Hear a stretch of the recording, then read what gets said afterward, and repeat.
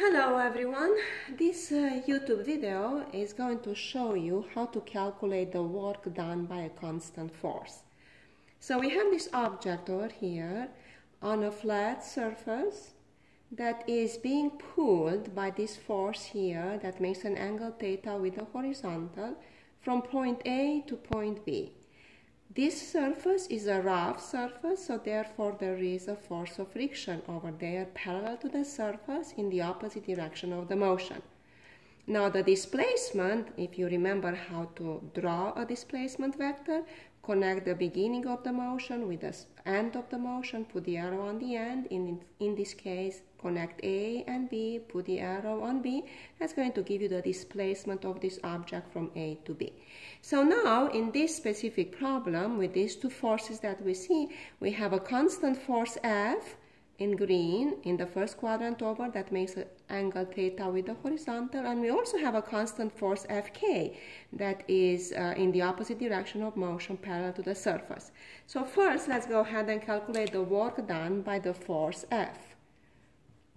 According to the definition of the work done by a constant force, this is going to have to be the cross product between the force vector and the displacement vector.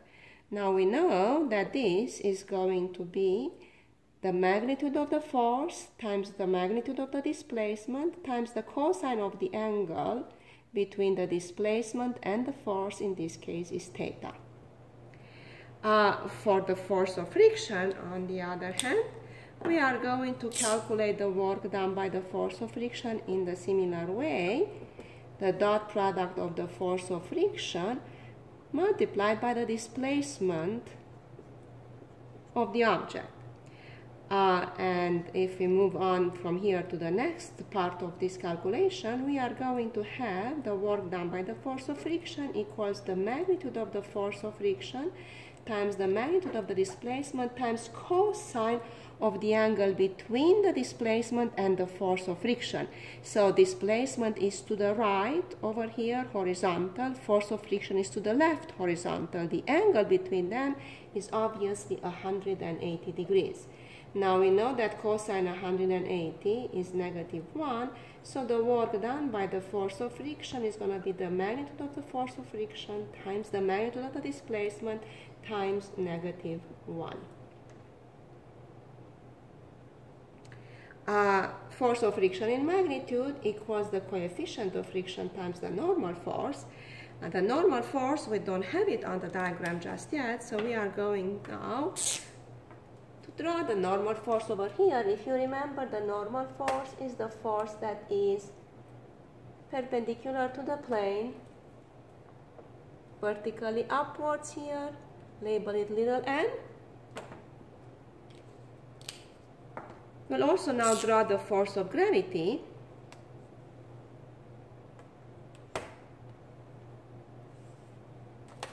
which is vertically downwards and we're also going to resolve the force F here in the two components the horizontal and the vertical component we have one component here and another one over here. This one is f cosine theta and this one is f sine theta. Now we're going to do a magnitude check very fast. These forces on the y-axis must balance out, so therefore the mg force, which is 10.5 centimeters should be equal to the n force plus f sine theta force in magnitude. Well, that's a 4.5 plus a 3, that's 7.5. So we're going to have to shorten this from 10.5 to 7.5. See. When we do that, there we go, 7.5. That's going to be our mg. So now that we know that these forces are balanced, you can, we can move on to calculating the normal force so we can plug it in here.